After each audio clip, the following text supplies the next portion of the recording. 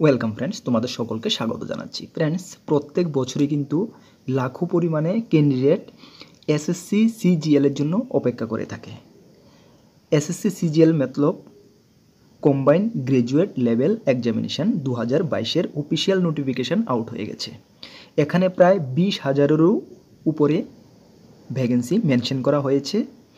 All স্টেটের জন্য এখানে ভ্যাকেন্সি আলাদা করে দেওয়া আছে এবং তোমরা যারা ত্রিপুরা এবং ওয়েস্ট বেঙ্গলের প্রার্থী, তোমাদের জন্য কিন্তু আলাদা করে ভ্যাকেন্সি দেওয়া আছে। ছেলে মেয়ে সকলে আবেদন করতে পারবে এবং তোমাদের নিজস্ব স্টেটে কিন্তু তোমাদের এক্সাম সেন্টার রয়েছে। ত্রিপুরা যদি হও, আগরতলা, ওয়েস্ট বেঙ্গল হলে কিন্তু ওয়েস্ট বেঙ্গলের অনেকটি এক্সাম সেন্টারই রয়েছে।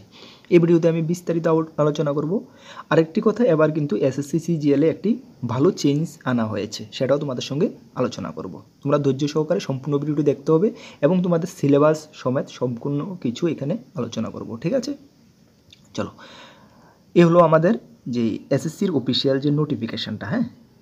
আচ্ছা তার আগে তোমাদেরকে বলব, তোমরা যারা এই চ্যানেলে নতুন দর্শক, এই চ্যানেলের মাধ্যমে আমরা গভর্নমেন্ট জব ইনফরমেশন এবং বিভিন্ন কম্পিটিটিভ এক্সামের প্রিপারেশন করিয়ে থাকি। যদি তুমি কোনো গভর্নমেন্ট জব খুঁজছো বা কোনো কম্পিটিটিভ এক্সামের প্রিপারেশন বানাচ্ছ বা ফিউচারও বানাবে, তাহলে অবশ্যই আমাদের চ্যানেলটিকে সাবস্ক্রাইব করে পাশের অল অপশনাল বেলটিকে প্রেস করে রাখবে। মনে রাখবে কোনো না কোনো দিন এই চ্যানেলটি তোমাদের একটু হলো হেল্প করবে, ঠিক আছে?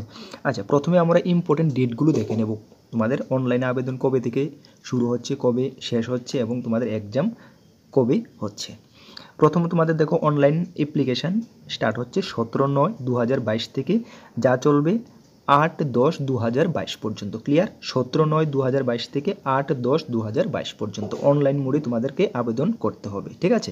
আচ্ছা তারপরে তোমাদের দেখো যে তোমাদের সিলেকশন প্রসেস কিন্তু দুটি এক্সামের মাধ্যমে হচ্ছে tier one computer based exam এবং tier two computer based exam tier ওয়ানের যে টেন্টেটিভ ডেট ডেট সেটা ডিসেম্বর দু হাজার বাইশে হচ্ছে এবং টায়ার টুর যে এক্সাম ডেট সেটা পরবর্তী সময়ে তোমাদের নোটিফিকেশনের মাধ্যমে জানিয়ে দেওয়া হবে ওকে চলো, কোনো ডাউট রাখবে না সম্পূর্ণটা এই ভিডিওর মাধ্যমে আমি ক্লিয়ার করে দিতে চেষ্টা করব হ্যাঁ?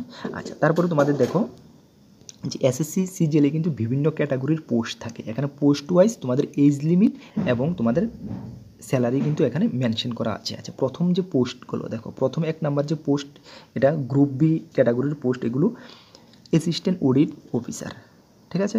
আচ্ছা এখানে তোমাদের যে এইজটা দেখো গ্রুপ বি এইজ হলো তোমাদের নট অ্যাক্সিডিং থার্টি ইয়ার্স ঠিক আছে? তারপরে অ্যাসিস্ট্যান্ট অ্যাকাউন্টেন্ট অফিসার সেখানেও থার্টি ইয়ার্স তারপরে তোমাদের অ্যাসিস্ট্যান্ট সেকশন অফিসার বিশ থেকে ত্রিশ বছরের মধ্যে তোমাদের হতে হবে। আচ্ছা যতগুলো পোস্ট আছে তোমরা দেখে নেবে।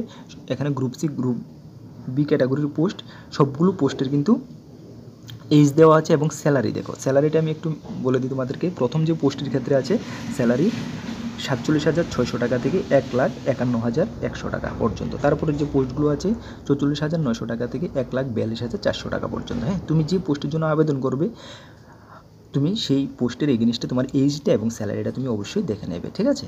আচ্ছা আরেকটি কথা তোমাদেরকে বলে দিই, যে এখানে কিন্তু অনলি মাত্র গ্রাজুয়েট যারা, তারাই কিন্তু আবেদন করতে পারবে। যারা গ্রাজুয়েট আছে, তারাই কিন্তু ভিডিওটা সম্পূর্ণটা অ্যাটেন্ড করো, ঠিক আছে? এখানে সবগুলো পোস্ট তুমি গ্রাজুয়েশন যোগ্যতা হলে তুমি আবেদন করতে পারবে। এর নিচে হলে কিন্তু তোমাদের জন্য এখানে কোনো পোস্ট নেই, ঠিক আছে? তুমি যদি গ্রাজুয়েট হয়, তাহলে তুমি সম্পূর্ণ ভিডিওটা অ্যাটেন্ড করো ওকে আচ্ছা। এজ লিমিট তোমাদেরকে আমি বলে দিলাম কোন পোস্টের এগেনিস্টে কত, এবং তা হেয়ার এজের কাট অফ ধরা হবে এক এক দু হাজার বাইশের হিসাবে, ঠিক আছে? এসসি এসটি হলে ওবিসি হলে তোমরা গভর্নমেন্ট রুল অনুযায়ী কিন্তু রিল্যাক্সেশনটা পেয়ে যাবে, ঠিক আছে? ওকে চলো, তারপরে তোমাদের এখানে দেওয়া আছে দেখো এডুকেশন কোয়ালিফিকেশান এডুকেশন কোয়ালিফিকেশানও তোমাদের ধরা হবে আট দশ দু হাজার বাইশের হিসাবে। প্রথম audit officer oblique assistant accountant অফিসারের ক্ষেত্রে তোমাদের essential qualification bachelor degree from a recognized university or institute এবং ডিজারেবল কোয়ালিফিকেশান তোমাদের charter accountant or cost of management accountant or company secretary master in commerce এগুলোর উপরে তোমাদের ডিগ্রি থাকতে হবে, ঠিক আছে? আচ্ছা তারপরে যে জুনিয়র স্ট্যাটিস্টিক্যাল অফিসার সেখানে তোমার ব্যাচেলার ডিগ্রি যেগুলো থাকতে হবে এবং সঙ্গে কিন্তু বলা হয়েছে যে sixty percent mark mathematics at twelve standard হ্যাঁ? তোমাকে গ্র্যাজুয়েশন ডিগ্রি থাকতে হবে এবং টুয়েলভ স্ট্যান্ডার্ডে তোমাকে সিক্সটি পার্সেন্ট মার্ক অবশ্যই থাকতে হবে। তাছাড়া বলা হয়েছে bachelor degree in any subject with statistics as one of the subject at degree লেভেলে যদি থাকে তাহলে তুমি আবেদন করতে পারবে। তারপরে বলা হয়েছে অল আদার পোস্ট এই দুটি পোস্ট ছাড়া বাকি যতগুলো পোস্ট আছে, সবগুলো পোস্টের ক্ষেত্রে শুধুমাত্র তুমি গ্রাজুয়েট হলেই আবেদন করতে পারবে ক্লিয়ার যে কোনো স্ট্রিম থেকে গ্রাজুয়েট হলে আবেদন করতে পারবে। তাছাড়া এখানে কি বলা হয়েছে দেখো the candidate who have appeared in the তোমরা যারা ফাইনাল ইয়ারের ক্যান্ডিডেট ফাইনাল ইয়ারের ক্যান্ডিডেট তোমরা কিন্তু আবেদন করতে পারবে বাট এখানে however they must process essential qualification on or before cut off আট দশ দু হাজার বাইশের আগে কিন্তু তোমাদের যে প্রসেস কোয়ালিফিকেশানে এসেন্সিয়াল কোয়ালিফিকেশানে সেটা সাবমিট করতে হবে, ঠিক আছে? নর্মাল গ্র্যাজুয়েশনরা আবেদন করতে পারবে ফাইনাল ইয়ার স্টুডেন্টরাও আবেদন করতে পারবে, ঠিক আছে? আচ্ছা হাউ টু অ্যাপ্লাই কীভাবে তোমরা অ্যাপ্লাই করবে? আমি প্রথমে বলেছি, সম্পূর্ণটা তুমি অ্যাপ্লিকেশন অন এসএসসির যে অফিসিয়াল ওয়েবসাইট আছে, সেই অফিসিয়াল ওয়েবসাইটে গিয়ে অনলাইনের মাধ্যমে আবেদন করতে হবে এবং তোমরা আবেদন করতে যদি কোনো অসুবিধা হয়, তোমরা এটা প্রসেসটা এনএক্সা থ্রিতে আছে, তোমরা ফলো করতে পারব, ঠিক আছে?